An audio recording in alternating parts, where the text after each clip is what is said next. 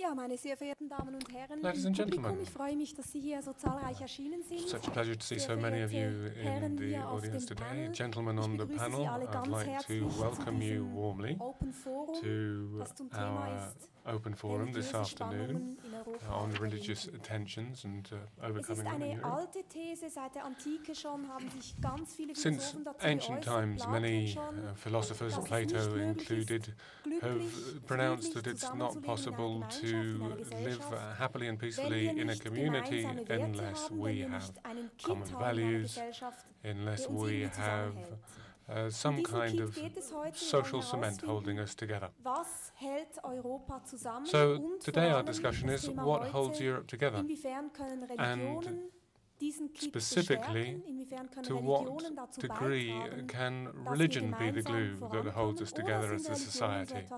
Etwas wie eine Trennwand? Can, Sind religious, can religions help us move forward, or das ist das Thema do they constitute a threat to social cohesion and harmony? That is the subject of our discussion. Um, I have the great pleasure of uh, introducing my illustrious panel, an religiösen und uh, many individuals with uh, zu meiner Rechten significant uh, cultural and uh, religious background. On my far right, Rabbi Pinchas Goldschmidt, Rabbi and President of the European Conference of Rabbis.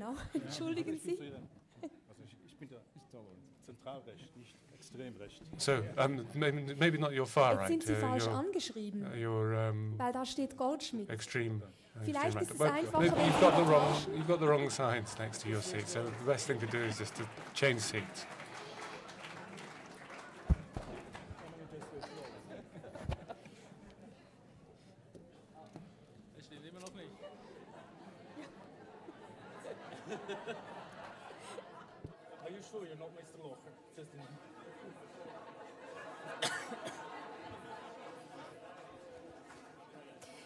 Könnte mich jetzt hier insofern rausschwatzen, als ich sagen würde, das ist doch ein schönes Beispiel dafür, dass Well, man auch Hüte wechseln kann, dass wir alle flexibel sind und durchaus in der can Lage, uh, uns in die anderen hats, Religionen hineinzuversetzen. and uh, we're Also in a position insofern to put ourselves in other people's religious shoes.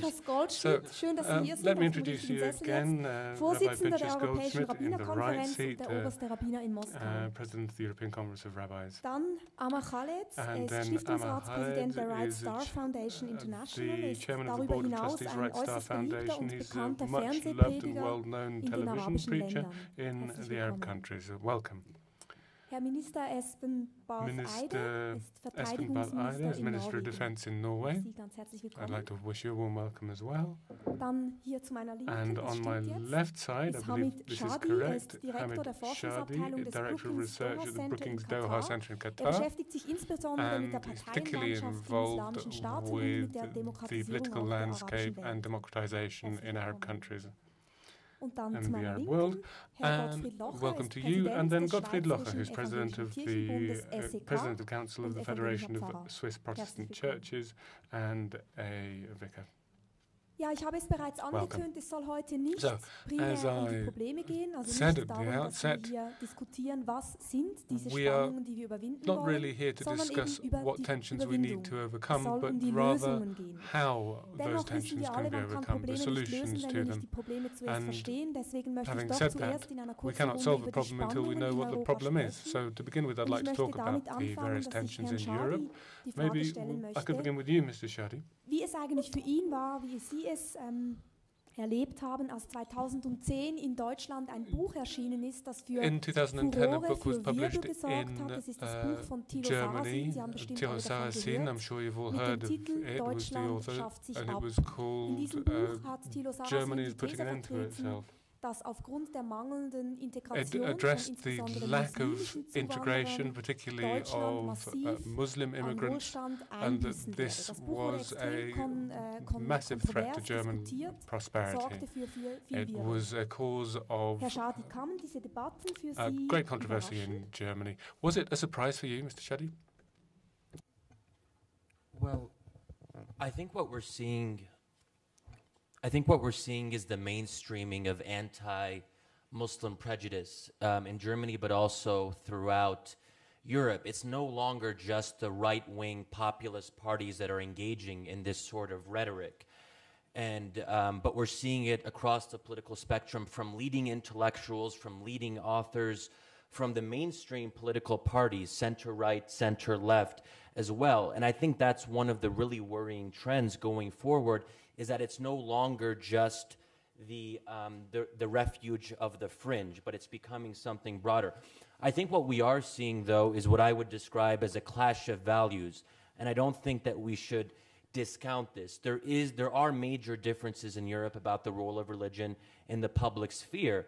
And the Muslim minority um, has a different way of looking at religion than the vast majority of the rest of Europe. So when, when, when non Muslim Euro- Europeans talk about, um, when they talk about secularism, they feel that that's value neutral, that that gives everyone the right to practice their religion, but only in the private sphere. Where I think with a lot of Muslims, and not a majority, but certainly a significant portion of Muslims in Europe, they believe that their religion gives them the right to express that in the public sphere. So I think those are two very different ways of, of approaching um, religion in the public sphere. And um, I'll just also say this that I think there is something about Islam, the way it's currently constructed, that makes it more resistant to secularization. And there have been attempts throughout centuries to relegate Islam into the private sphere, but it's failed time and time again. So the question is I think, is Europe going to be able to accommodate those types of religious sentiments in the public sphere? And I think the jury's still out, and that's where we're seeing so much of this tension emerging. Vielen Dank. Herr Locher, im Many Grunde thanks. genommen ist Mr. das ja Locher, ein Thema, das die Schweiz extrem Is this a seit problem which Switzerland is extremely affected by? Uh, we've had the anti-minarets law uh, beurteilen Sie, was passed in Herr Shadi referendum gesagt hat? Würden Sie diesen in uh. Switzerland or the initiative uh, for that. So do you believe that this is an extreme problem in Switzerland? konzise, kurze Darstellung gehört von dem, I think we've Problem heard um, a Es geht um very concise explanation of the problem. It's the integration of bringt, rel- a religion eine which has a public dimension, which has a scale of values, uh, which has uh, principles about living together in community. trifft auf eine Religion, And this religion Vorstellungen hat, die sich is coming into contact with another religion which has other principles. There's some overlap, but uh, certainly not everything sehen wir in unserem uh, Land. Herr Schei sagt is zu Recht, es ist ja the same. äh, So there are frictions, and this relates not only to a small political Und mir scheint es minority, it relates to large parts of our society. Therefore, we need to take it darum, wenn wir an seriously. If we're thinking about solutions, yes, we do need to address the uh, sources of tension. Ihnen, die auch in der Schweiz Those of you who grew up in ist es nicht Switzerland are familiar with these tensions. They're not that new. In uh, 1847, we had a religious war here. We know. What Erinnern wir uns religion, vielleicht auch ein religious bisschen an die eigene tensions can bevor wir meinen, es lead to. So let's uh, friedlich zu remember our own history and then move on and address the issues aushalten, sagen peacefully. es gibt diese Spannungen. Die So Frage ist ja you immer, are saying that the sind tensions diese exist. Spannungen wirklich in den question Religionen is, sozusagen eminent? Sind are die Teil they dieser Religionen? inherent Kommen die da heraus? in Oder werden diese Spannungen bewusst or kreiert? Are these Werden die tensions being intentionally, purposefully uh, Und, und was created, ist die Wurzel des Ganzen? caused, used by certain parties? Minister Eide das Wort geben. Perhaps I should turn to you, uh, In Minister Eide. In Norway, Ereignis, auch in there was a devastating event mögen uns alle sehr this summer. I think we can all remember the terrible incidents. An individual shot around 80 people. muss man ja wirklich sagen, war die And this act was the act Radikalen und es war ein of Einzeltäter. a radical Dennoch individual. sich auch gegen islamisches However, Gedankengut. It was oriented against Norwegen, Islamic Norwegen philosophy. heute und wie Where does Norway stand today? And how would you aushalten, welche Spannungen address this issue of tensions and what tensions are there? As you can all imagine, it was an, an incredible shock that this kind of thing could happen in a, in a normally very peaceful society who looks upon itself as highly tolerant and, and multiculturally uh, open. And uh, this, of course, was a far right, white supremacist, uh, a former member of a political party who, had, who is anti immigrant, but he left the party because he wanted to be far more anti immigrant than the party was, and who decided to kill a lot of people uh, who were not necessarily immigrants, but people who he saw as representatives of tolerance and multiculturalism, which was what he was fighting. So it was sort of the, the center of the, the government, the main government building, the prime minister's office, and several other ministries, and the, uh, uh, and the political summer camp of the Social Democratic Youth Movement. And the, the stated purpose, because in this case we know exactly what he meant by it, because he wrote a big book on the internet, which he published an hour before the crime, was exactly that he has to do this because he has to defend against this multi multicultural tolerance, which has no values because it doesn't sort of stick to the traditional Christian purity. Uh, no, this was a solo terrorist. We have found now direct political links, although there are a lot of intellectual connections to other, other people. But what it led to in our society was a very strong focus on doing what we think is the right thing to do when we are exposed to terror terrorism is not to allow ourselves to be terrorized, not to change in the direction that the terrorist wants, but rather in the opposite direction. So the collective call of the political leadership, as much as the people in general, and of all the political parties, was more tolerance, more unity, more democracy, more openness, and let's try to look into, you know, how can we strengthen the values of unity and diversity, which we think as Europeans and as Norwegians is what holds us together. Because the future, as we see it, has to be, in one way or the other, a multicultural society. Uh, and, and, that requires a set of tolerance skills. Mm. Uh, and, and, one of my challenges here, and, and here, is that I think religious leaders uh, of all uh, faiths has a responsibility in help creating the civic culture, which makes it possible to coexist. And, and, not only coexist, but have a mutual tolerance of the different faiths. And I think that paradoxically, the outcome of this terrible terrorist attack is that there is more focus on this in Norway in a positive sense. So if one thing was achieved, it was that the terrorist really failed in trying to move society in the direction of purity that he was hoping. Eigentlich sind es ja zwei Punkte, die Sie ansprechen, wenn ich Ihnen well, zuhöre. There are two points there. einerseits um um, diese interestingly, on one hand, there's this matter of unity in diversity, und andererseits um die Toleranz. Uh, the thing that brings us together. And then, on the other hand, you have the issue of tolerance, the recognition that there are differences well, and that, that, much, that needs know, to be recognized. European tradition, and I see us, Norwegians and Swiss and everyone is part of a broad European tradition inspired by Enlightenment, which is very much that what, what makes us unique is our openness and tolerance and willingness to allow others. I'm not saying that other parts of the world doesn't have the same. Actually, on the contrary, a lot of the emerging powers that we're now seeing and which we're discussing a lot in World Economic Forum are highly multicultural societies with a high, with a high social capital of tolerance. But, but there is something European about this which we have to cherish because if we move in the opposite direction and try to look for something absolutely pure and original, first we won't find it. And on the way to that quest, we will, we will achieve a lot of conflict and trouble. Herr Abi Goldschmidt, mich würde interessieren, wie Sie die Situation aus, I'd be interested on how you would see that from your religious community. Where would you say the tensions arise? I would like, uh, first of all, to say grüezi. It's great to be back in Switzerland. Um, but uh, you'll allow me to speak in English, to respond in English, since I've, it has been over 30 years since I've been away. I would like to defer a little bit and say that um, the problem is not in Europe, is not between religions. It's basically between an enlightened uh, secular society and a religion which comes from another part of the world. And uh, if we take a look at statistics, um, a Catholic newspaper in France, La Croix, said that 64% of French are Catholics, which is about 41.6 million people. 4.5%, which is about 1.9 million people, go to church regularly. There are 6 million Muslims in France, 45% say they practice, which is 2.5 million people, meaning the more people going to a mosque in France than going to church in France. The same is true in England. You have 930,000 Muslims going to the mosque on a weekly basis. You have only 916,000 Anglicans who go to church.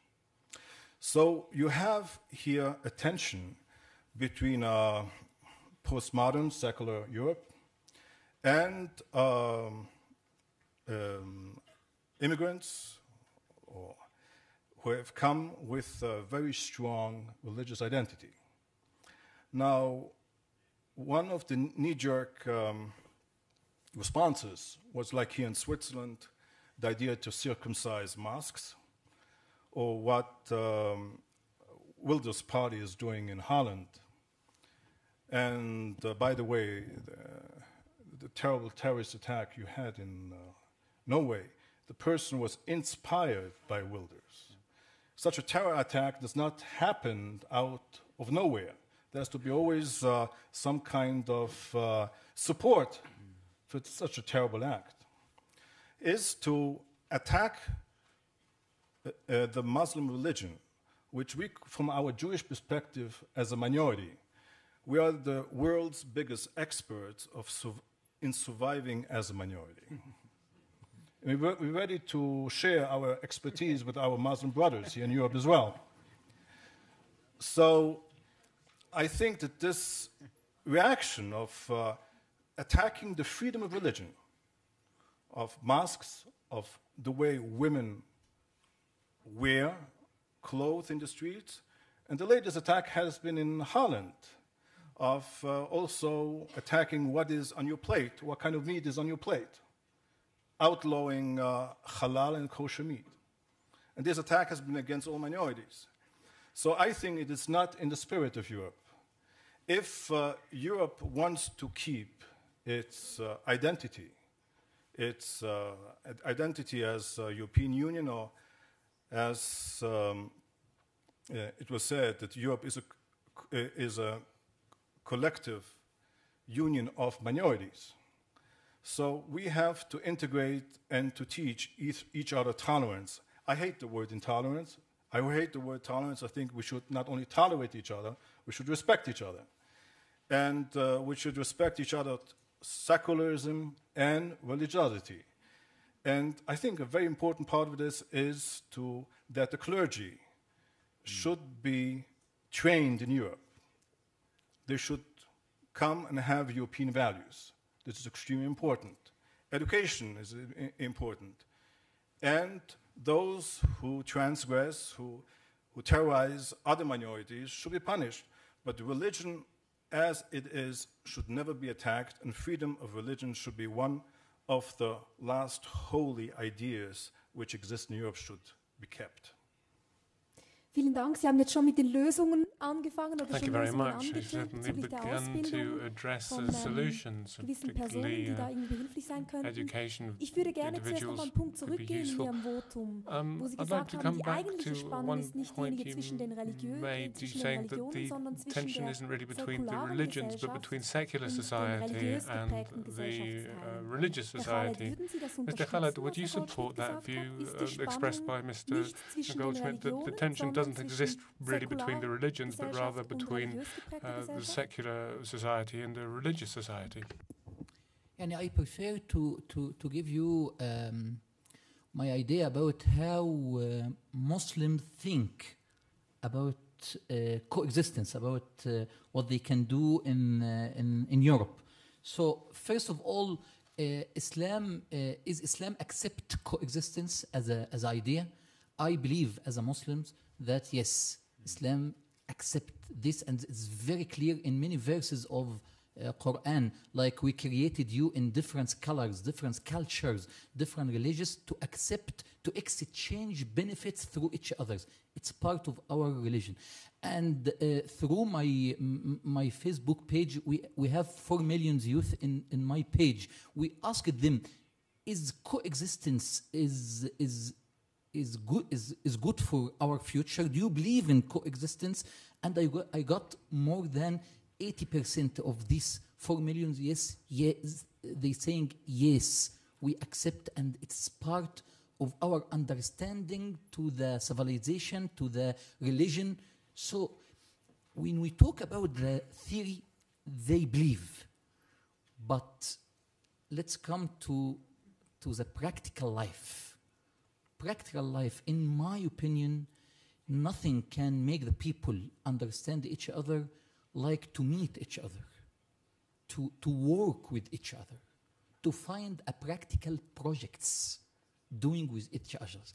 If we stay talking about Muslims and you cannot find a check hand with one of them or sit or eat or uh, play football together or work together, it will still in our minds, you are something, me, myself.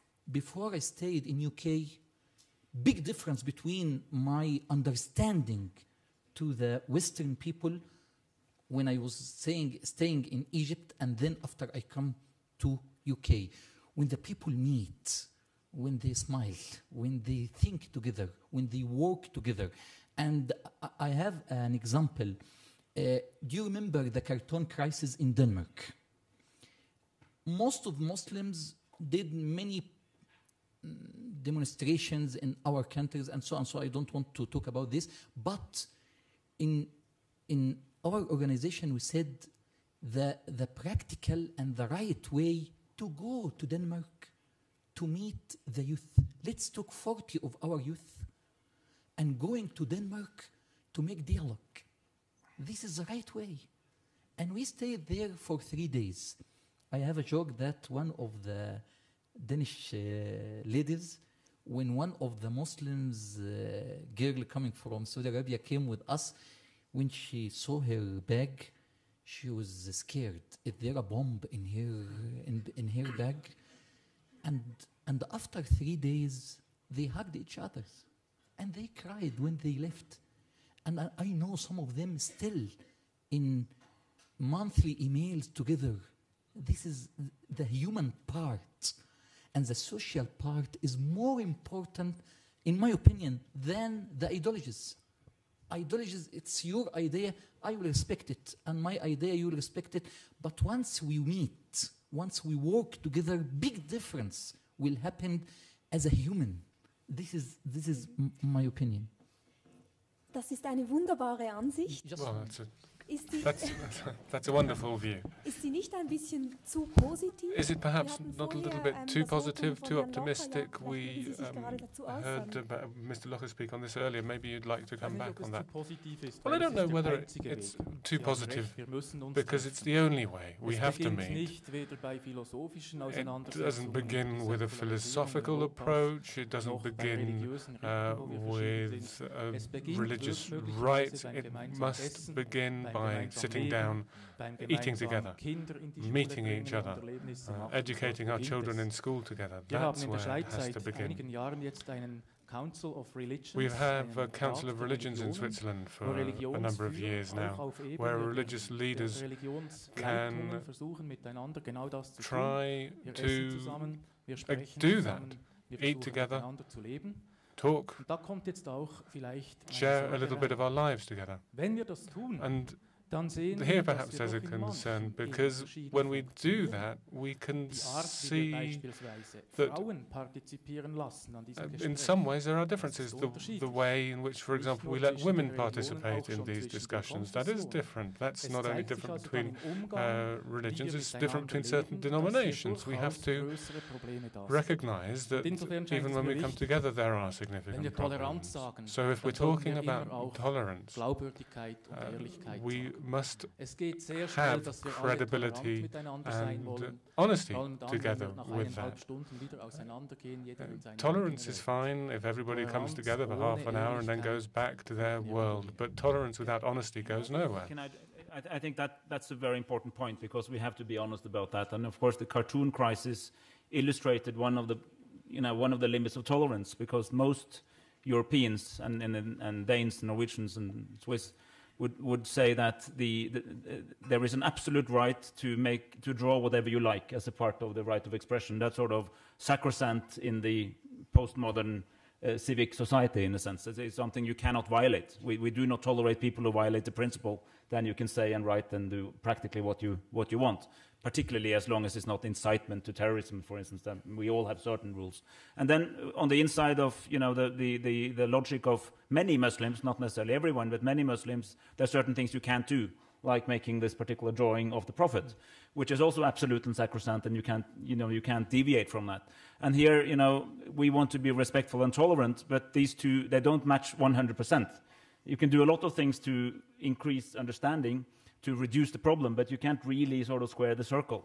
Uh, and and uh, and uh, but but but but the second best, what you can do is to have a lot of co contact, dialogue, explain to each other why this is an issue, why is this so important for me, why is this so important for you, yes. and then uh, eventually end up by saying that we disagree, but we still respect you, uh, although the two logics do not completely uh, connect. And I think the, the, the rabbi's point is, is, very good that the, the it is not necessarily a question about you know the, the, natural essence of religions, but that many of the people who practice Islam in many European countries come directly from what don't get me wrong, but what some people would call the pre-modern societal setting into a sort of uh, postmodern uh, societal setting, and that uh, and if they came from some if they came from an urban setting, a, a modern Muslim urban setting, they would come with a different set of interpretations of what the religions mean than if they come from uh, you know the uh, Punjabi countryside, for instance. And, and, and this is our issues that we have to deal with. I think they can be dealt with, but we have to sort of have them on the table as a reality.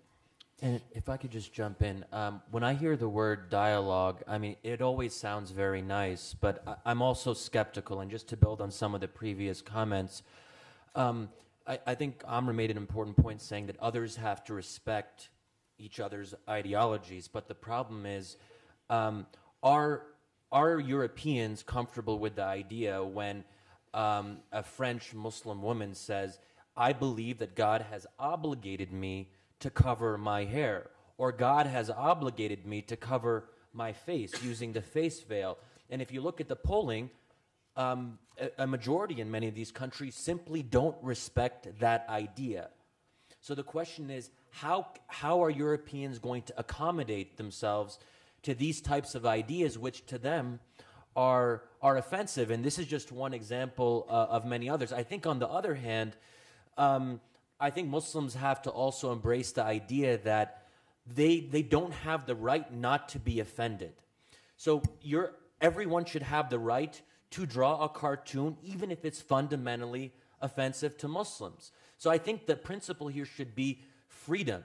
And when you ban people from wearing the headscarf, or you ban people from, or trying to ban them from drawing offensive cartoons, that is fundamentally illiberal. And I think what's really ironic is that European liberals who claim to be animated by these post Enlightenment ideals, they are going around trying to ban people from expressing their fundamental rights. It is a fundamental right to cover your hair, and no government should intervene in that. And I think that's a principle that should be absolute, but in Europe it is not absolute today. Ja, vielen Dank. Ich glaube, jetzt kommen wir näher an die Spannungen ran. I think we're coming closer to the tensions. They're now clearly out in the open. I'd like to ask uh, you gentlemen perhaps to be a little shorter in your answers so that we can have a discussion. I'd like to strengthen that point with the following idea. Rabbi Goldschmidt, you said uh, that it's the tensions between religious communities and secular communities which is a problem. Now, if uh, we take that a bit further, we can have a lot of examples, no minarets and no headscarves. But uh, it's not only a question of uh, forbidding um, Islamic practices, but also Christian symbols. There was a case of uh, an employee of British Airways who was uh, dismissed because uh, she had a cross on and she didn't want to take it off. So I'd like to ask you, uh, Rabbi Goldschmidt, you said in an article uh, in a newspaper recently, you said that you think it's if we want to, it's also ideological if we want to ban everything religious. This is also a trend in Europe, the separation between state and church. How do you see those tensions? And why do you say it's just, it's, it's just as much ideological? There are many ways and to define a secular state and the relationship between a secular state and uh, the state religion or the religion of the majority. And I think many countries in Europe, each one has its own way of doing that. Uh, well, even though there is a separation between church and state, in England, in the UK, um, there is no separation. It's a secular state, but there is no separation between uh, the Queen is the head of the Church of England. Uh, in, uh, in France, you have uh, laïcité. So in the United States, uh, you have a separation, and on each dollar you have in God we trust. I think that um, we're going to have to redefine, as I would say, as Europe is becoming more religious. And uh, Europe is becoming more religious not uh, only because the influx of immigrants from other parts of the world. I think religion is playing a much bigger role in um, this century than last century. Last century was defined by secular movements, which created the biggest killing machines in history. And uh, in this century, religion is much more important again. And I think one of the reasons why we religious leaders are invited here to the World Economic Forum is also a sign that while we do not deal with making money, we have something to add as faith leaders, as leaders of different traditions. So I think that we have to find a new way to tolerate each other. And what, um, what uh, Dr. Locher has said, we have to be true. We have to be true to each other, and we have to give the same message which we, if we're sitting in an interreligious dialogue and we're speaking to each other, when we go home to our constituencies, we should give the same message. Now, I believe that we have to be tolerant to any kind of dress, if it's a religious dress. And however, if there are people preaching terrorism, people who are preaching hate in our midst, in Europe, they have to be stopped. Mm. There were terrorists each time I go to the airport and I have to take off my shoes. I think maybe one day will come and we're going to have to wear special pajamas when we go on a plane. Who knows? I think what would have happened if a religious leader in the right time, in the right place, would have said the right word. Herr Eide, wird Europa religiöser? Das war die These von Herrn Goldschmidt. Is uh, Europe becoming more religious? Well, That's what I, I guess Rabbi Goldschmidt the, is saying. In the diversity theme, there is also the need to identify oneself. Uh, you know, it becomes more important. So it's probably at least an element of that. I, I think it's difficult to, to, to estimate statistically, but I think that you know when when people are more aware about uh, the fact that there are others around you, you are more concerned about who are you and what are your role and what are your identity. I think, but I very much would like to underline this point that I think religious leaders have uh, several important roles, and there's very good reason that they are invited here and to the World Economic Forum to to to discuss this role because, in a sense, um, and I think it's particularly true for leaders of minorities, and particularly for relatively recently arrived minorities, to try also to be a kind of bridge and an interpreter between the societies, because of the larger society, what are the expectations, what are the limitations of, of how we can express, uh, you know, it, to the extent that we are sort of invading others, uh, our religious uh, uh, faiths and practices and so on, and how do we how do we meet and and the kind of connection of religious leaders that you describe here in Switzerland, we've had it in Norway quite successfully for many years. Uh, initiated, I think, by an, a former bishop of Oslo, but with several uh, Muslim Jewish leaders involved, and others, you know, exactly saying that that we have a collective responsibility of trying to help our followers to interpret our role in this, you know, uh, ever-evolving society.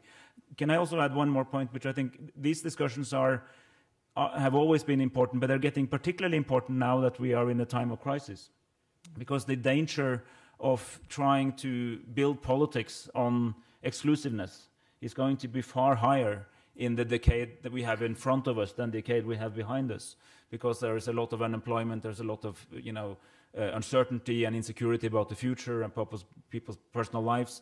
And the experience from the last time we had the crisis of these dimensions from the 1930s was that the exploitation of purity uh, and, and the sort of the, uh, the, the, the, the, critique of multiculturalism led to an extremely dangerous situation which then blew Europe apart. I'm not suggesting that exactly same thing would happen again, but we have some lessons which we have to sort of bring into this debate that it's not only that we have a current set of issues that we have to solve, but we have to prevent against the future where this is becoming a big political problem.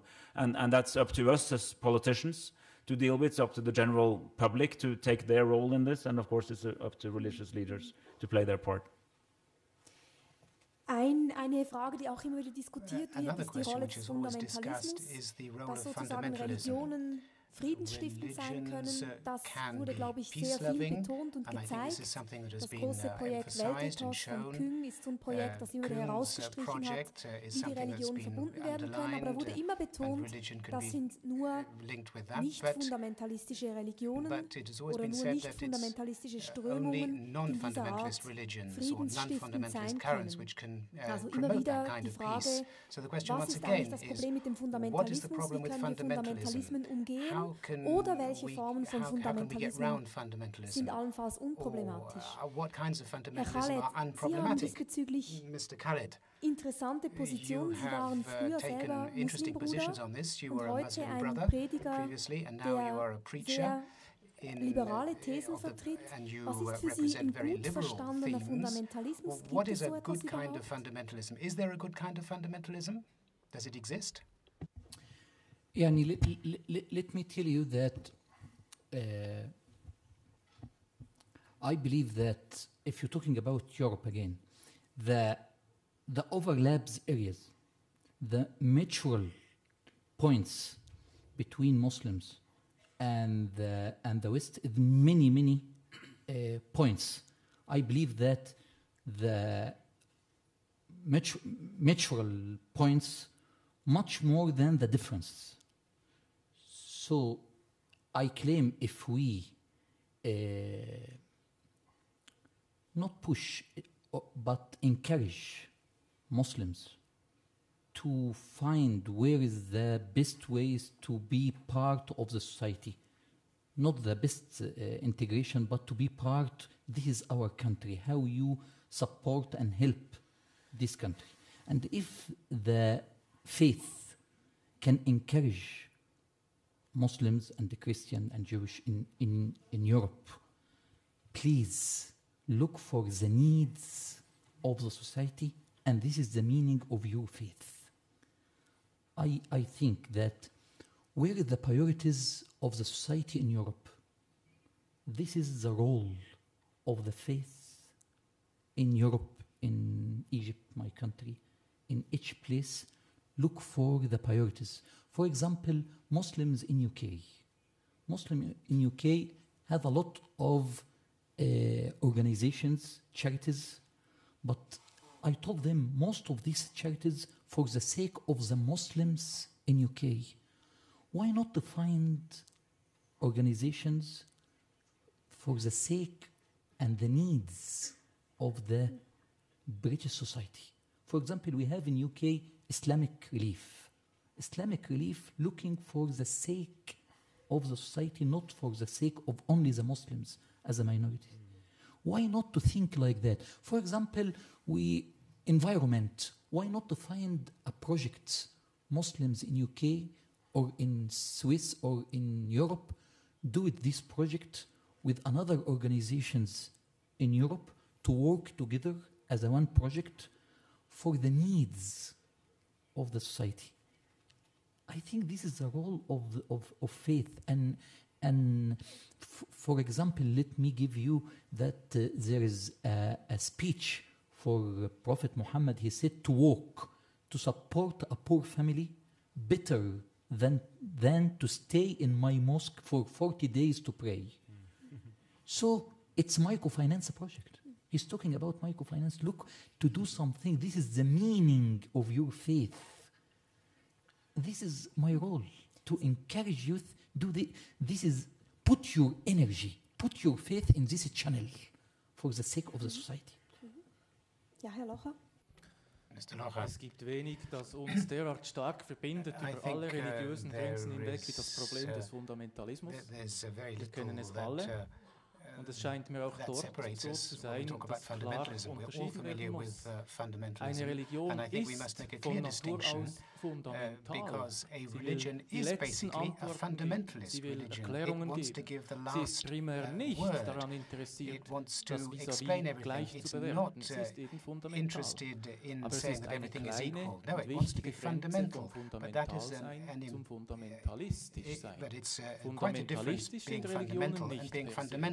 but it's quite a difference being fundamental and being fundamentalist. Religions are not fundamentalist as such. And uh, I, uh, I don't think that religion is the basis of fundamentalism. That is not the case, and you can see the representatives here. All the other religions that I am uh, familiar with, the people who practice those religions are not fundamentalists. They have a theological uh, training, they have learned how to uh, communicate and to uh, get along with other religions. So I think uh, that distinction between fundamental and uh, fundamentalism is an important distinction.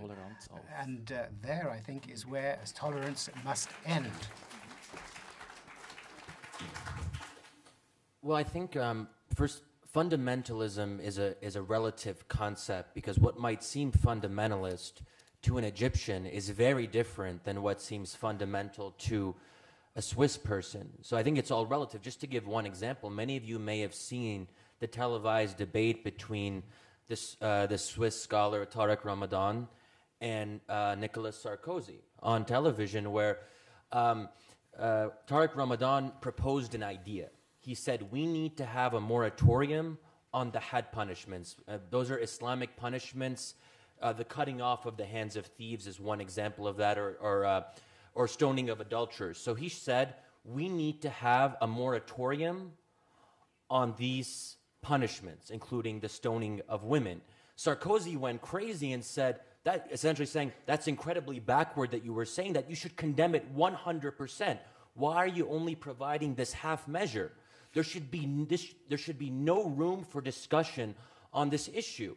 So, in the Swiss or in the French context, what Tariq Ramadan said sounds kind of conservative. It sounds kind of fundamentalist. But Tariq Ramadan's idea of a moratorium in Egypt is perceived to be very liberal to the point that it's quite controversial. and he's being condemned by people for offering this idea of a moratorium. so, who's right on this?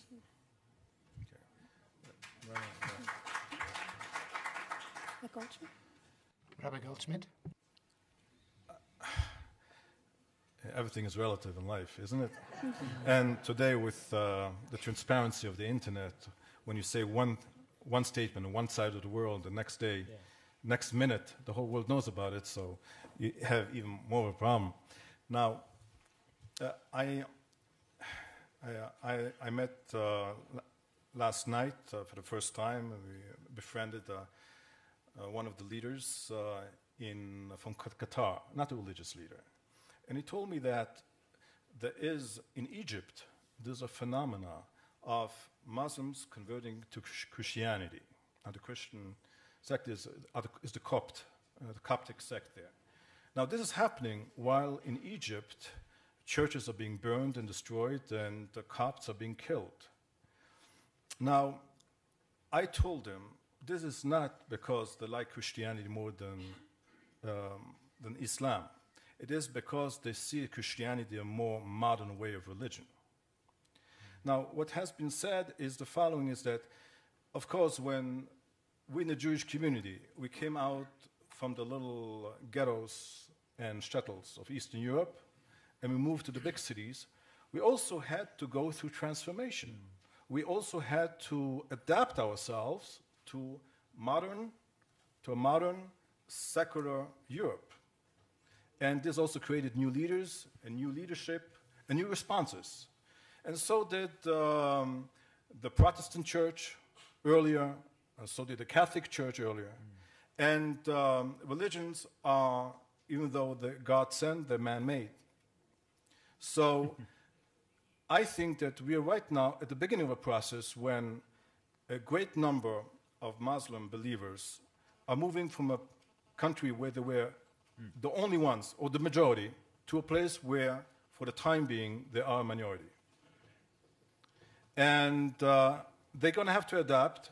And the leadership um, I see today with my, uh, with my colleagues here to my left shows promise and hope that this new European religious leadership is going to adapt, is going to find, create a new European Islam, which is go be, going to be compatible with European values.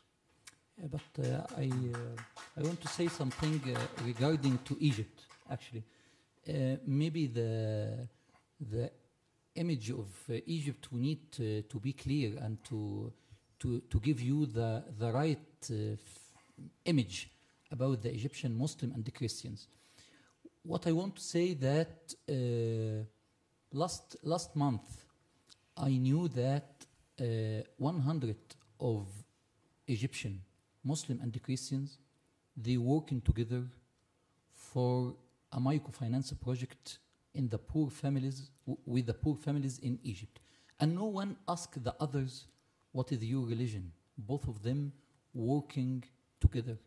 And I know many of Christians change their religion to be Muslims. I know them. And I know, as, as you said, some else. But I remember during the revolution in Egypt that who protects the churches was the Muslims. Muslims during the revolutions was afraid about the churches, so we protect the churches. I know a lot of youth left their families to go to keep the church. This is uh, something great happened during the revolution, and maybe you saw something like that in the televisions. So the image of the Egyptian that they believe we can work together. And another point, who's right? In my opinion, right is the needs of the people. In 07, I asked the youth, please send me, the youth, the, the Arab youth, please send me your dreams for your country after 20 years from now. And we put 20 sectors, uh, education, uh, health, uh, coexistence, and we got 700,000 dreams. Yes, 700,000 dreams. And I asked them, please put the priorities of your dreams. Number one was, we need jobs. Number one wasn't, uh, we need to fight Christians. Number one wasn't, we need to be in a fight. This is, this is what I'm sure it is not, uh, it is very clear. We need jobs. And number two was women empowerment, women empowerment in the Middle East. So uh, uh it is not like, uh, like uh, there is a, a, big problem between Muslim and the Christian and the Ich möchte gerne noch einen letzten Punkt ansprechen, bevor wir dann öffnen für das Publikum, das bestimmt auch Fragen hat. Ich möchte noch die Frage ansprechen einer europäischen Leitkultur oder der Frage dessen, was dieser gemeinsame Kern sein könnte. Es wurde jetzt zum Teil ähm, betont, Uh, it's been said here that in many religious movements there, is, there are clear convictions, there are basic assumptions, uh, there are values, and one of the problems, as Tariq Ramadan has already been mentioned, has said that uh, in Europe uh, we've perhaps forgotten to uh, look at our own roots. Uh, some theoreticians have said that there is an I phobia of ideology eine Angst vor dem Fremden, auch eine Angst vor dem eigenen oder eine Christophobie, Angst vor dem christlichen Wurzeln, eine Angst davor, sich zurückzubesinnen auf, die, auf das eigene. Und je mehr wir diese Angst verspüren, desto mehr haben wir natürlich Panik vor dem Fremden, das da kommt. Das ist eine alte These, man fürchtet vor allem dasjenige, was einem bei einem selber ein Stück weit dann auch fehlt. Herr Eide, die Frage an Sie, was könnte so ein Bollwerk sein, was könnten Werte sein, die wir in diese Lücke stellen können, um zu sagen, wir haben auch unsere Wurzeln und dann können wir einander vielleicht besser verstehen, wenn auch wir uns wieder auf unsere Werte beziehen. people who feel uh, insecure about their own identity are more prone to be fearing others. You know, you're, you're, it's easier to tolerate others if you're secure and safe in your own identity and thinking. Um, and, and, but I think the answer is very much that this has worked before. I mean, in Europe, we used to kill each other for being Protestant and, and Catholics and so on. Not that long time ago. We have a long history of doing it the wrong way. But modern Europe is very much the opposite of that and has deliberately been, try, been developed both culturally, uh, politically as a project, and I'm not talking only the European, integra- European Union, but the broader sort of European political project is this unity and diversity, where the, the, the pride is very much in our own tolerance. The pride is in our diversity. The good thing is that you can go to another European country and feel more or less at home because it's rather similar, and you understand, you know, the culture and so on quite easily. Uh, and I think to build further on that, on, on the premise that it has worked before, we have been able to to assimilate and to, and, and to adapt to, to each other previously. I, I, would like to introduce one point which I think is related to that, but very often overlooked when Europeans talk about Islam, is that we, we, we tend to talk about Islam related to people coming from the Arab world only. Uh, or, or from pers Persian world, but there's a lot of Muslims in Asia, east of that. You know, for India, 150 million, I think. Uh, Indonesia, predominantly Muslim, one of the biggest countries in the world. Uh, Bangladesh, uh, Malaysia where a lot of this sort of mutual coexistence has established itself over hundreds of years. And if you go there, these are extremely prosperous countries. It, it, India is going, going, to be the third most important country in the world for the rest of this decade. Indonesia is very, doing very well, and, and, and there's a lot of Muslims there. So, I mean, th this kind of uh, coexistence, which has been, which we are struggling with in Europe because it's newer when it comes to the Muslim immigrant, actually has happened elsewhere quite successfully. Not that they're with, without any problems, but, but I think we should remember that part as well. I'm, I'm glad that you mentioned the word insecurity and also, Amr, you said jobs earlier. And it, I think it's interesting that we've been talking now for about 40 minutes and we haven't focused on the economic issues here. It's not just a matter of ideology. If you look at Arab and Muslim minorities yeah. throughout Europe, they are disproportionately poor and part of a, the lower class and have less access to good employment opportunities. So the economic becomes mixed with the ideological, and sometimes it's difficult to distinguish between them. So, to what extent is it an ideological problem, and to what extent is it an economic problem? Because when people don't have those opportunities, when they do feel economically insecure, they tend to look inward and find strength in their own identity. And it's not just the minorities, but it, as, as Europe has, will have more and more serious economic challenges, you're going to have uh, those who are part of the majority culture yeah. also turning to right wing groups yeah. because their economic needs are not being addressed. So it's on both sides. So we also have to think what are the economic solutions to this? möchte gerne Herrn Locher noch das Wort geben und dann öffnen wir your Fragen.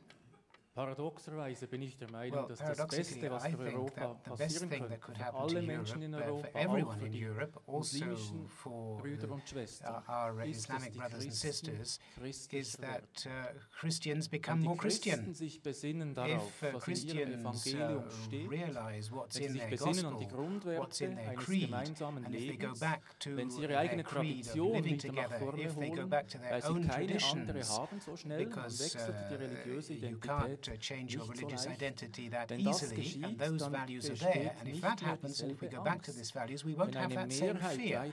If a majority in this country continues to fear the foreigner, then I think it's going to be bad for everyone, and these tensions are not going to go away. So go back to what, what is important for us, what are our values. Let's look at our own traditions. Do we know our own traditions? Let's, let's look at ourselves. And if we can do that, if we can go back to our own values, then I think we should be more open towards others. Dass es uns dann I'm auch gelingt zu sehen, dass in diesen Fremden succeed in seeing that uh, the others, uh, the foreigners, have their own prophets who have the same values.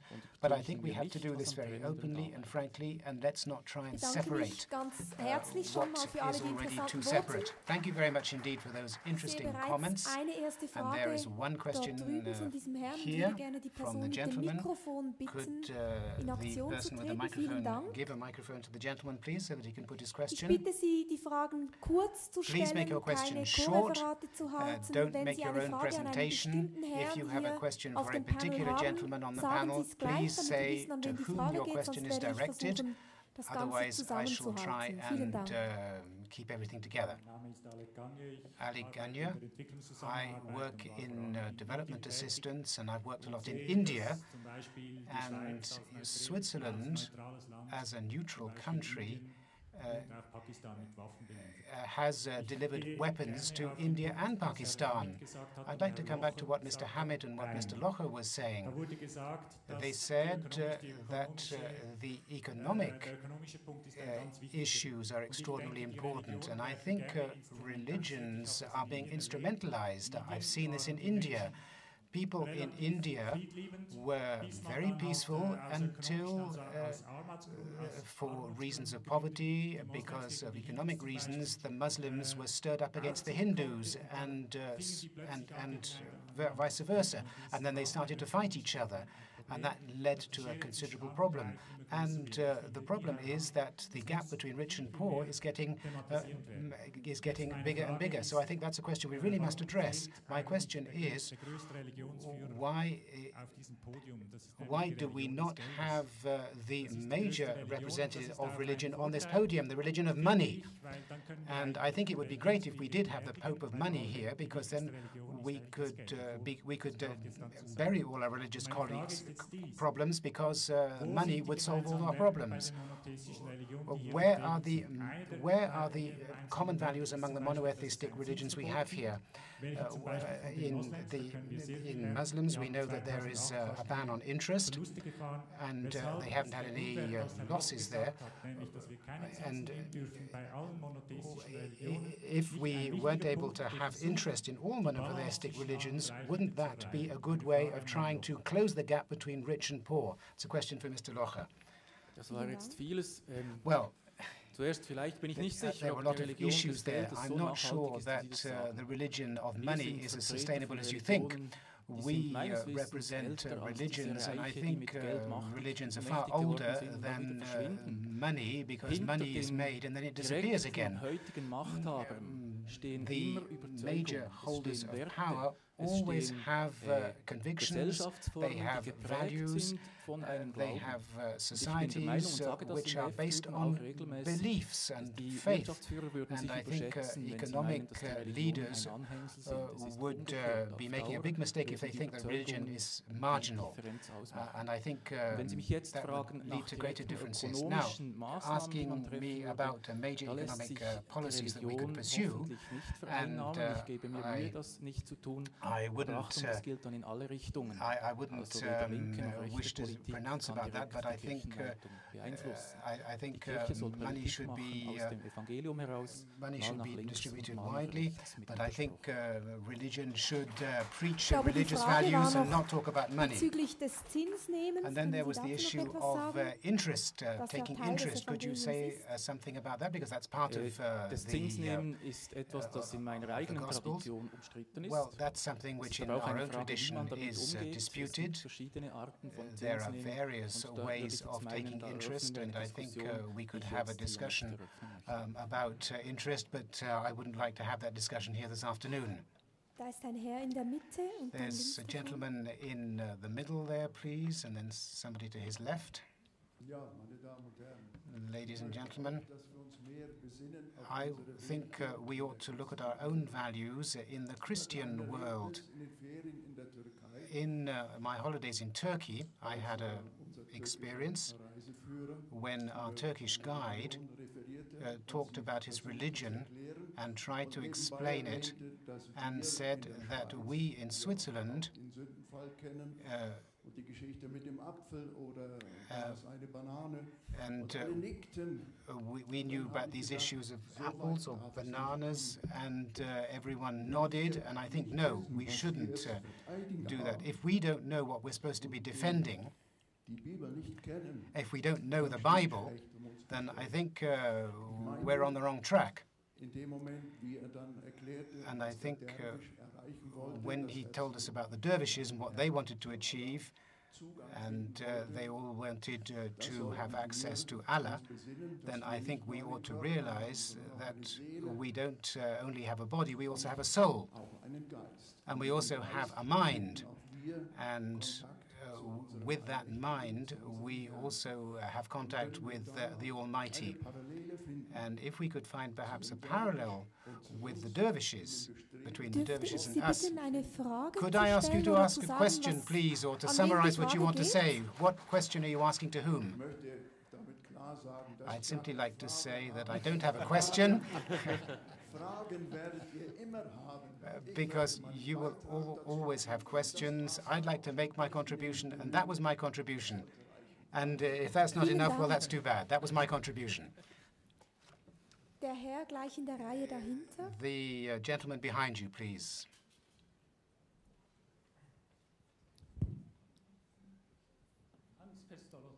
Hans Pestalozzi. I have two questions. The first was not uh, raised, the problem of uh, the rule of law. And uh, Europe is characterized by the rule of law. And unfortunately, the Muslims, and uh, we know that in practically every country, they have their own law. And yet they don't obey the law of the state. they consider that Sharia law is more important than the rule of the state and the rule of the land. Now, the question is, what do you think, Mr. Hamid, about how a democracy can uh, reconcile itself with the Sharia law? Is that possible? Yeah. Mr. Hamid? Okay, well, um, first of all, that's an overgeneralization. we can't say that Muslims value Sharia over the laws of their own country. I'm an American Muslim, and I've been part of the American Muslim community growing up, and we never had a problem with American laws. Uh, so we have to be very careful about what we're talking about here. That may be true for a minority of European Muslims, but I think if you look, the majority of European Muslims don't have a problem with the, with laws as they currently exist. Now, the question of whether or not um, uh, and there's also, not to get into this too much, but there's also a concept in Islamic tradition that if you're a minority living in a different land, you have to respect the laws of that country, and that's what's supreme. Now, if we're talking about, so is Sharia and democracy compatible? And that's obviously very relevant for the Arab world, where we've seen Islamist parties rising in places like Egypt, Tunisia, Libya, and so on. And just, um, just last week, we had the results released that more than 70% of the Egyptian parliament went to Islamist parties. Now, you might say, well, that's pretty disquieting. That's kind of problematic. But actually, I think it's very encouraging that Islamists are participating in the democratic process and they're reconciling themselves to democracy. Why should there be a conflict there? And in Turkey, we have an, a, a party with Islamist origins that has been ruling Turkey for 10 years. Mm. And they've experienced incredible economic growth and incredible economic success as a result of that party's policies. So uh, it's not a very simple thing. I do think there is a tension between Islam uh, or Islam and Sharia and liberalism, maybe. Maybe that's where there's an issue. So, for example, you have Islamist parties in Egypt who are talking about restricting alcohol consumption. Now, that might be illiberal, but it's democratic. If the majority of Egyptians want to ban alcohol, that is 100% democratic. And actually, in America, in the 1920s, we also banned alcohol through the democratic process. So liberalism and democracy are sometimes going to be in, in tension, and sometimes you have to decide what do you value more. Ganz kurz, Herr Minister Eide. Minister Eide, very briefly. I think that development in Turkey are extremely encouraging. It's going in a very interesting direction, and it may be the uh, one of the role models for many of many of the emerging Muslim states, recognizing certain differences and historical uh, issues. But I think there's something very interesting going on. And my other point there is that I think it's crucially important that we now sort of find you know, allow this development in the Muslim world to the extent we have any influence and say it's good that some of these parties like the Muslim Brotherhood is now you know, taking part in normal politics because then you have to deal with normal budgets and normal trade-offs rather than trying to be for, or, or, having to be forced into the shadow of the mosque where you have sort of a completely different uh, agenda. I think the, you know, the democratization means that you have to deal with the issues we as normal politicians deal with every day, which is sort of difficult compromises between different you know trade-offs which which uh, they many of these people have not been allowed to simply because their authoritarian leaders were supported by us who thought that it was better to have an authoritarian leader than to have democracy because they might elect the wrong people Herr Goldschmidt I just would like to add also that uh, I think over 100 years or 130 years ago in Europe they were asking the question if Christianity is compatible with democracy I would like to add to it another one. I'm from Russia. I'm from Moscow. In uh, 2004, the librarian of the Library of Congress, James Billington, wrote an article where he said that the Russian Orthodox Church is going to be a vehicle for increased democracy in Russia. Everybody laughed at him. And just a few weeks ago, after the big demonstrations in Moscow, it was the patriarch who intervened. So I think that everything is developing. We just need time, patience, and tolerance. Vielen Dank. Und mit diesem Votum ist vielleicht auch gerade ein guter Augenblick, dass wir Sie schon verabschieden dürfen. Sie gehen ein bisschen früher, weil der Sabbat beginnt. Warmer Applaus für Sie, Herr Goldschmidt. Vielen Dank, dass Sie hier waren. Danke vielmals. Alles gut. Thank you very much. All the best.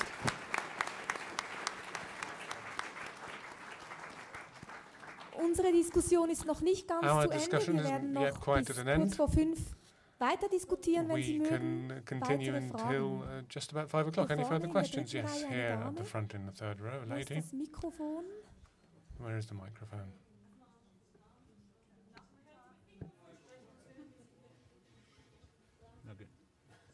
Thank you. Um, das ist jetzt ein Regiefehler. Aber dann ja, Yes, please continue. Okay. Um, 10, 20, 30 years ago, the debate might have been about racial prejudices and racial tensions, whether here in Europe or in the USA. Today we're talking about religious tensions. Yeah. 20, 30 years' time, God knows what tensions we'll be talking about. Isn't it really the issue that it's discrimination, prejudice, and ignorance that exists among us all and that's the real issue that we should be debating. And if we solve these kind of issues, then ho hopefully there'll be peace amongst all nations. Thank you. Geht Ihre Frage an eine bestimmte Person? Are you addressing your question to someone in particular? To, to all of them. would you like to answer? I can just say something very briefly on that. I mean, I think we also have to face the reality that these tensions are never going to be resolved. It's part of the human condition that we find ways to hate and dislike each other. So, I mean, it would be nice to think about some ideal scenario where that would be the case, but it's simply not possible. I mean, even in the US, we thought that once we elected the first black president, that yes, we had finally reached the promised land. But in some ways, we've seen since then how anti black sentiment has been on the rise, and you see a lot of veiled attacks on President Obama from the Republican Party that touch on his foreign origins and questioning how true he is to American identity. So, even I think the point here is even if you take two steps forward, you're probably ended up taking a step back too. And you just have to keep on fighting and hope that you'll at least be able to have forward momentum in the right direction. Can I?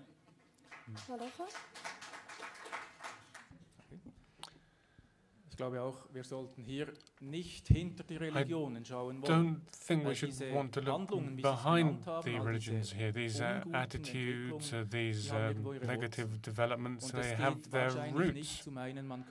And you could perhaps lose sight of the religions uh, um, and just think that all you need to do is overcome prejudice. I don't think that's true. We need to look at the content. We need to look at the issues of religion. We need to look at our own religions and uh, not lose sight of them.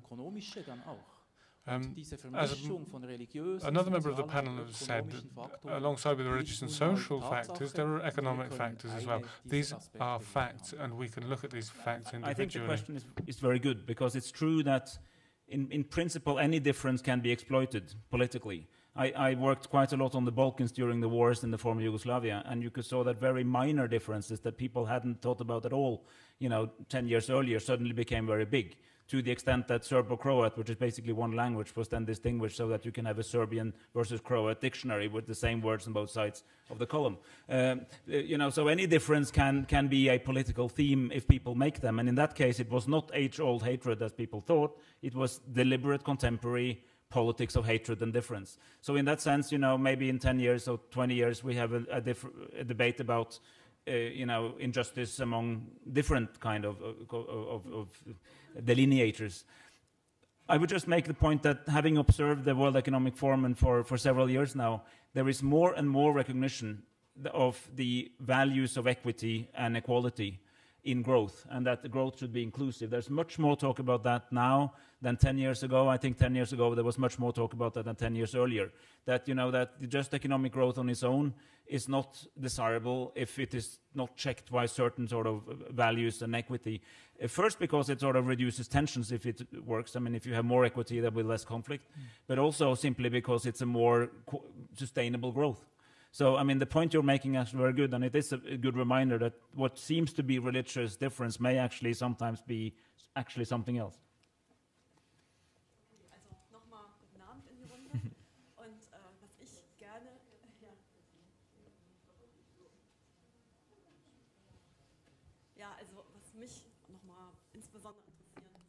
What would be of interest for me, I think we haven't really discussed discussed religion uh, extensively enough. I think um, every religion has its own competitive approach. Uh, there tends to be a competition between the religions. Um, in Switzerland, you have tithes. This church gets money from the government, it wants a certain number of participants. Churches want um, people not to convert. And I think it's the same in Islamic countries. I think in Islamic countries there is large amount of uh, a large number of converts to Christianity sometimes. How do religions deal with that? Uh, they need they might recognize the need to be tolerant, but they also have to um, pursue their own interests. So I might, I might, as a Christian, say I tolerate Muslims, I, I tolerate uh, Jews, but every believer believes that their religion is the right one. And they want their leaders. well, I think your question is clear. You want to know to what extent uh, the churches can reconcile their need to convert with um, and pursue their own interests with tolerance. Sie möchten die Frage nicht, dann gebe ich sie weiter an Herrn Khaled. Ein heißes Eisen offenbar. If, if, if, if I'm talking about Islam, it's very clear. There is a verse of Quran very clear. Don't push anybody to change or to leave his uh, his religion or if he wants to be in another religion, don't push him to be in your religion. It's very clear for us as a Muslims that we respect if someone want to change his religion. And I'm talking about myself and I'm talking about a lot of uh, Muslims. We have no problem about this point. Yes, some people have some understanding to these verses that no, it is not, uh, it is not correct. But most of the Muslims in the Arab countries believe now that no problem because the verse is La ikraha fiddin. Don't push anybody for any religion. It's a freedom to each one to choose his religion. Locher? Und trotzdem haben Sie recht. Mr. Locher, so but at the same time you're right. That's the way things are. Religions wouldn't be religion if they didn't claim the truth. And when we recognize that, we recognize how uh, large the problem is. Because you have different systems, each claiming to possess the truth. It's not about something which is distant from us, about something that is far away from us. It's a question of how we deal with gender, with minorities, with our children. It relates to the way we live day to day. There was a time when we thought that could perhaps be ignored, overlooked. But what Rabbi Goldschmidt said is right. There are pressing questions, and the issue of tolerance must also go hand with hand with an assessment of how honest that approach is. We have an obligation to pursue peace between religions, but we need to make that small difference between fundamental and fundamentalism. If a religion is honest, it is fundamental, but if it is fundamentalist, then it is working against its own fundamental principles, at least those that I believe. Wer hat die nächste Frage? ist eine Dame hier vorne. Mm-hmm. Another question here at the front, a, a lady in the third row. Vielleicht nehmen wir gleich zwei Fragen zusammen. Maybe we should take two questions together. Hier. Und danach noch diesen Herrn hier auf dieser Seite. And then the gentleman here on this side.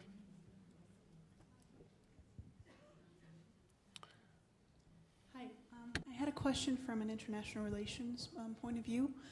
Um, in my classes and tutorials, we often talk about system defining dates, such as 1648 with the introduction of state sovereignty and secularization of the state, or 1945 with the introduction of United Nations and institutions.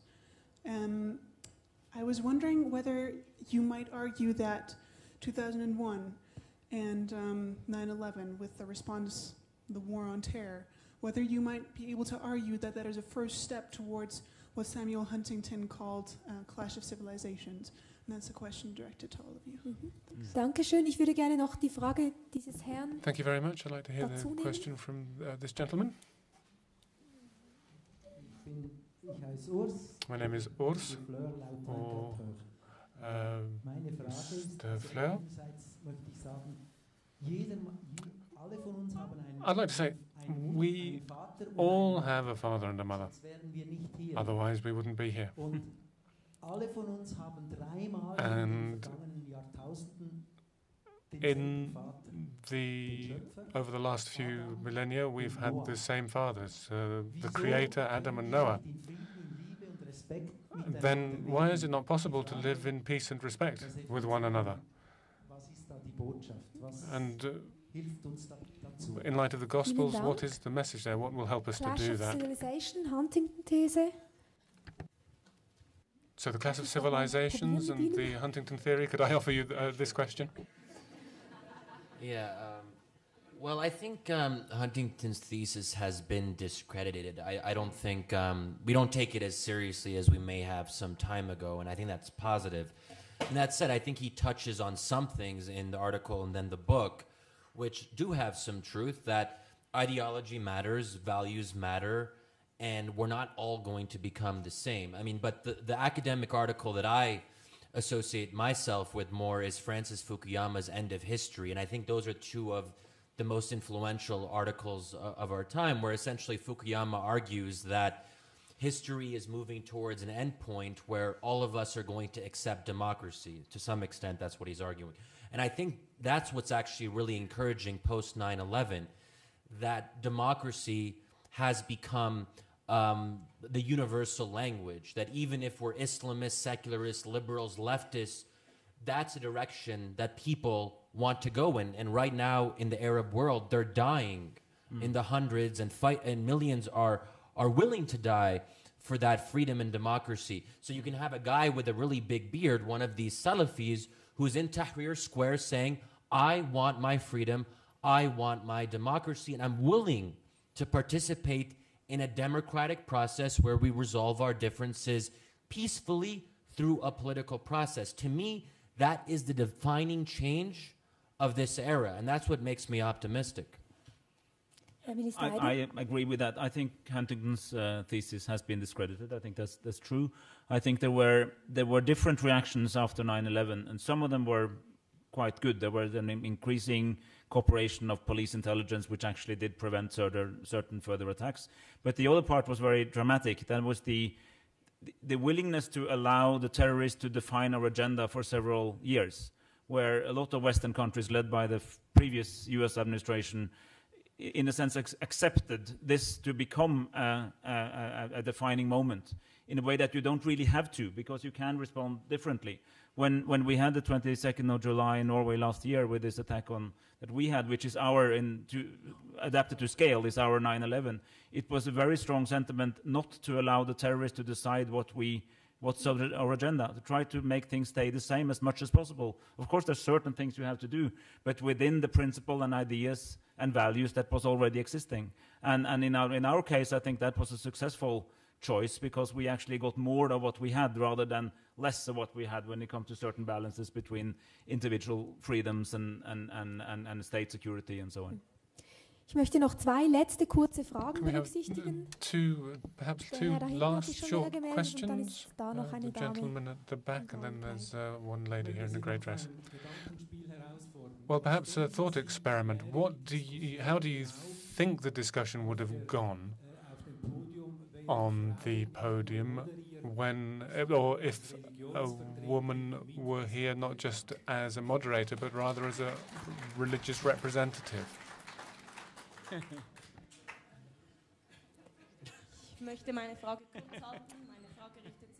I'd keep my question short. It's Mr. Khaled. He said that one of the most important points is having a job. Would that not, ju not just be putting religious questions on the back burner, though? Vielen Dank. Would that not would that just be ignoring religious questions if we focused on the economy? No, no, no, no, no. I, I, I, I think that uh, religious now and faith now, talking about faith without talking about economy and the role of the faith to in in the recession and uh, in in this period uh, the world all the world thinking about how we will live how we will this is i believe that this is the role now about faith to encourage the people through the faith to do something for our future to for the economic this is what i uh, i believe there is a big relation between how to live between economic and the spiritual leaders and the spiritual role to encourage the people to live in a better future. Uh, according to uh, your uh, to Hamid point about the um, why the people why we are not going to make a clash now in this uh, period, I think people in the Arab world now want to live, want to eat, want to find a better future. So they're talking about coexistence. It's very clear now coexistence is the, uh, is, the, is our way. So this is, this is a relation, in my opinion. Mm. Vielleicht können wir wirklich die Frage noch einmal zuspitzen, perhaps, um, weil sie mir vorher auch schon äh, quasi in den Sinn kam, als Sie gesprochen earlier haben. You were um, speaking, es war ja gerade das Schockierende an um, 9-11, um, dass diese about 9/11. nicht entstanden sind that was, Klima der Armut. Um, the amazing thing that the attacks didn't come out of a climate of poverty, that äh, many of the terrorist attacks um, rise in prosperous areas. Or rather the, the perpetrators are, are, not poor. So maybe there's confusion um, when, when you say we need to resolve the economic issues, and if you say many religious issues might uh, actually be economic issues on the surface, there seems to be some paradox there. Right, yeah. Well, poverty, that's why addressing poverty is not going to end extremism. Extremism mm. is still going to be there, fundamental, fundamentalism is going to be there even if everyone was rich. So I think we, yeah, exactly. We shouldn't simplify this and say once you give people a job, they're going to be happy. And actually, historically, if you look at the most ideological movements, the radical movements, not just in the Middle East, but also in Europe, mm. they tend to come from a middle class or upper middle class background, at least the leadership. Maybe the rank and file is different, but the leaders of these movements are actually often quite well educated. And there's been a number of very interesting studies. If you look at Hamas, Hezbollah, Islam, you know, whatever it is, that um, these are people, many of them, the leaders, with PhDs, doctors, engineers, and so on. Um, the number two in Al Qaeda is a doctor. Uh, so I, I, mean, I think, um, and I think uh, here, I think the basic problem, if you're trying to understand this, is what edu- as people become more educated, they have higher expectations, but then their needs aren't able to be satisfied. Mm. So you have what we call a gap between want satisfaction and want formation. It's a political science thing, but generally, you want more, but you can't get it. So you're angry, and that's where I think a lot of this comes from. But I think the bottom line is you have to have an integrated approach. Addressing poverty is not going to be enough. And I think we should be careful not to say that, yes, all Egyptians want jobs, all Egyptians want a better life, but also a lot of Egyptians may want to ban alcohol or may want to see Islam play a larger role in public life or may want to see in their ideal world the hands of thieves being cut off. You can want both of those things at the same time. Vielen Dank. Wir müssen hier leider langsam Thank you very much. Ende Unfortunately, we have to draw our discussion to close. Perhaps uh, right at the end, I could draw two or three things together that uh, come from our discussion. One uh, view is certainly the clashes, the tensions are not only between religions, but rather between also between the secular societies and the religious uh, societies. We as Europeans uh, perhaps, perhaps have to ask whether we're pushing secularizations too far. And then the idea of people who know themselves, who know their own identity, are likely to be less afraid of others who express their own identity and push their own identity forward. So again, we have to look within ourselves for our own identity, ask what is our culture? And how do we understand our culture in Europe. And something that will certainly remain with me um, is the hopeful sign that uh, you touched upon, namely that the Islamic parties which have been elected to parliaments in uh, Arab countries are involved in the democratic process. So that's not a cause for concern, but rather a cause for hope. Thank you very much to all of you for your commitment, for your questions. Thank you for coming, and also I'd like to offer the warmest of thanks to the participants in the panel who have really contributed to a very rich discussion. Please give them warm applause.